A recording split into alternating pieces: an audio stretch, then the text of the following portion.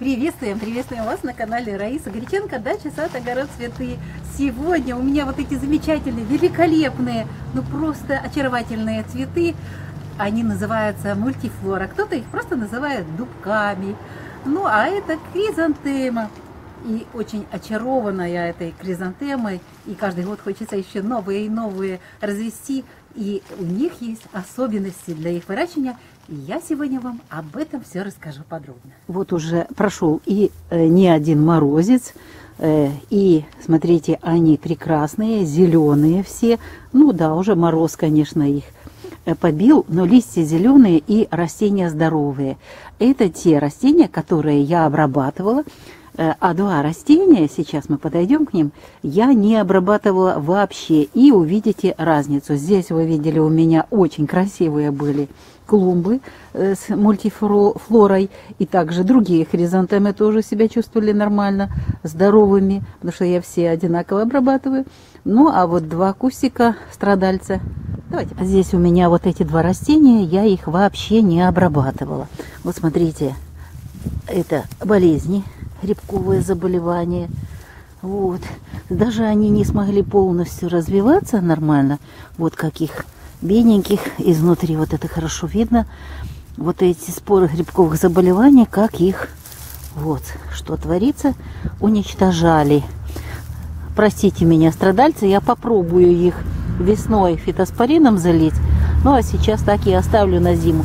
Даже цветение и кустики э, оказались намного менее пышные, э, менее развитые. Вот они все болезненные такие к сожалению. Ну, э, я их, простите меня, растения оставила без обработок только для того, чтобы показать разницу тех, которые обрабатывали, и тех, которые не обрабатывали против болезней и против вредителей. Поэтому именно эта тема сегодня у нас стоит на повестке дня, и о ней мы сейчас поговорим. Продолжаю это видео у прекрасных цветов брызги шампанского. Здесь у дома, на южной стороне, они продолжают цвести даже после уже нескольких таких солидных морозов ночных.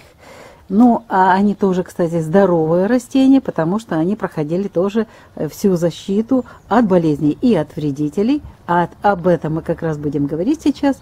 И э, не просто я отдельно делала растворы и защищала свои хризантемы.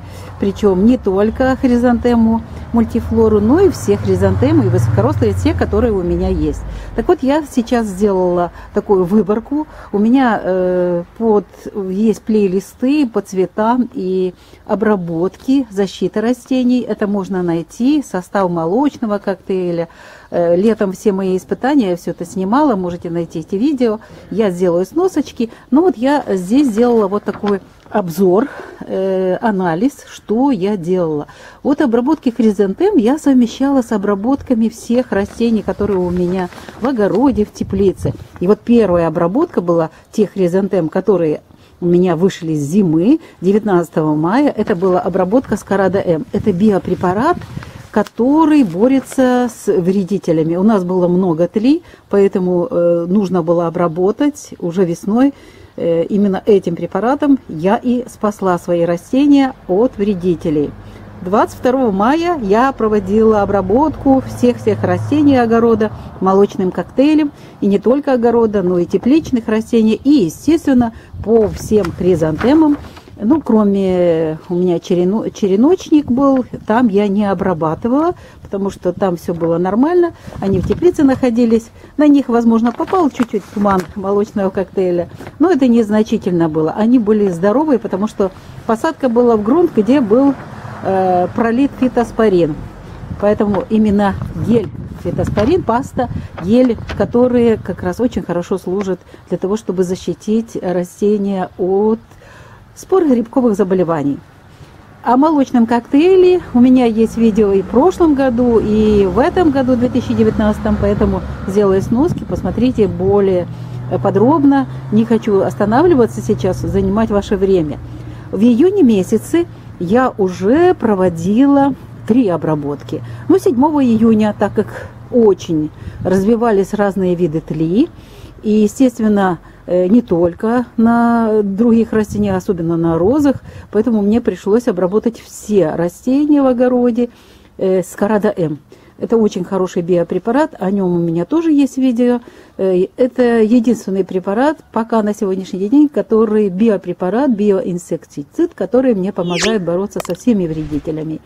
Там есть два вида скарада М, э, фруктовые, э, фруктово-ягодные и картофели. Вот я вот эти бактерии соединяю и обрабатываю. 14 июня я провела обработку в теплице огурцов раствором сыровот, сыроватки, сыроватки и йода. Так вот, этот раствор состоял с 8 литров воды, 2 литра сыроватки и 10 капель йода. У меня оставалось где-то литра вот этого раствора, и, естественно, я прошлась и по хризантемам. Э, у меня хороший распылитель, э, такой очень хороший опрыскиватель, поэтому и они небольшие растения были, очень быстро, мне хватило, в принципе, литра для того, чтобы пройтись по растениям. Затем 23 июня я э, приобрела, нашла очень хороший, э, старый мой э, уже испытанный гаупсин. У нас появили, появился этот э, как раз э, препарат в магазине – так вот, я 9 литров воды плюс пол-литра гаупсина и 0,5 э, литра, то есть пол-литра трихофита. Ну и добавила по 50 э, миллилитров скарада М, э, как раз в момент, когда я уже готовила обработку. У меня тоже, кстати, видео есть. Я вот этот коктейль готовлю каждый препарат, развожу отдельно, а потом соединяю. Так вот, 23 июня вот этим коктейлем тоже обработала свои растения в огороде и обработала хризантемы. В июне вот это было три обработки, затем июль. 05 э, июля я уже э, начала использовать, вот э, провела испытание и начала размножать дома трихофит и гаупсин. Э, тоже есть видео, я то в 3 литра, то можно чуть-чуть больше разводила вот этот препарат, добавляла сахар э, и немножко дрожжей, за несколько часов до обработки. И потом э, вот это все вместе соединяла и обрабатывала все растения. Супер результат, как раз тем более были небольшие дождики, а они как раз и жара, и создают такие благоприятные условия для того, чтобы развивались споры грибковых заболеваний. Но не тут-то было, я с ними справилась. И 20 июля снова же Скарада Э очень много вредителей было, по 50 миллилитров уже на 10 литров воды, два вида вот этих скарада М, биоинсектициды использовала. А 26 э, июля я сделала повтор вот этого, 0, э, когда 05 июля я проводила, трихофит, гаупсин, э, сахар и сухие дрожжи. Вот это снова сделала такой хороший коктейль своеобразный, соединила и повторила 26 июля. Замечательно оно сработало. Вы знаете, вот э, особенно вот э, что касается трихофита и гаупсина, э, он не только вот гаупсин защищает от болезней, и в то же время дает большое количество азота, именно с воздуха берет и дает растениям, и дает еще и э, своеобразный толчок роста, потому что есть в этом препарате гормон роста. А трихофит э, обживается не только на растении, но и в грунте и защищает растения от почвенных патогенов и также борется со всеми спорами грибковых заболеваний именно на э, хризантемах, ну и на растениях. Переходим к августу. В июле мы все это сделали. 4 августа я проводила второй э, готовила второй раз молочный коктейль для всех растений, особенно для тепличных. У меня тепличные молочным коктейлем обрабатывала. Э, и те растения, которые у меня были в открытом грунте.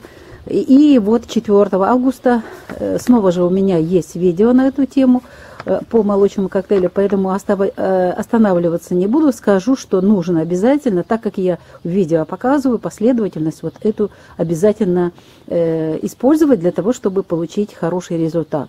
13 августа я снова против вредителей обработала хризантемы с карадаем, уже тоже по 50 миллилитров.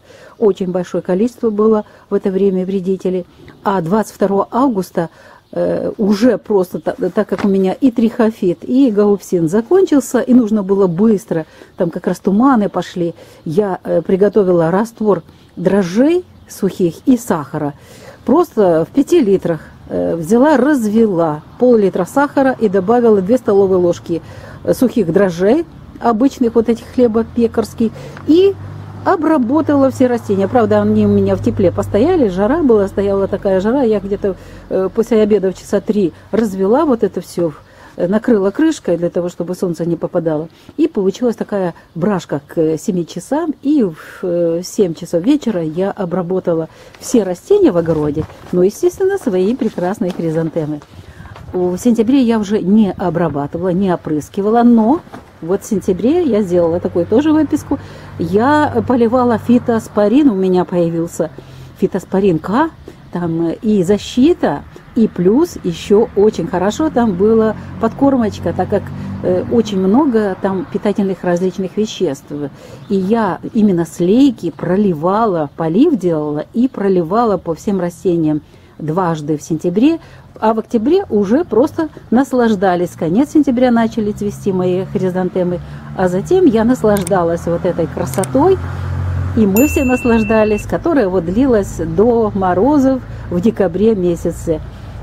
И сегодня уже, сегодня я э, снимаю это видео, э, сегодня 6 декабря 2019 года, и делюсь с вами вот этой важной информацией о том, как защитить хризантемы.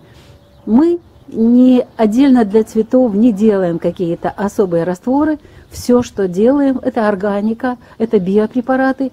И самое главное, то, что можно дешево найти, использовать, э, подручные различные средства, аптечные. Все это э, обрабатывается, все растения обрабатываются. И э, они нам как раз служат экологически чистое, во-первых, пространство, и служат нам таким хорошим э, настроением, потому что эта красота, она вдохновляет на прекрасное настроение, на позитив и на созидание. Ну, на этом пока э, ставлю запятую, потому что этой теме мультифлоре э, мы еще будем посвящать наше видео. Это новая тема и очень важная. Меняется климат и меняется как раз технологии, и мы обязательно в будущем будем об этом рассказывать. Ну, а сегодня мы говорим вам пока-пока. До новых встреч в новых видео.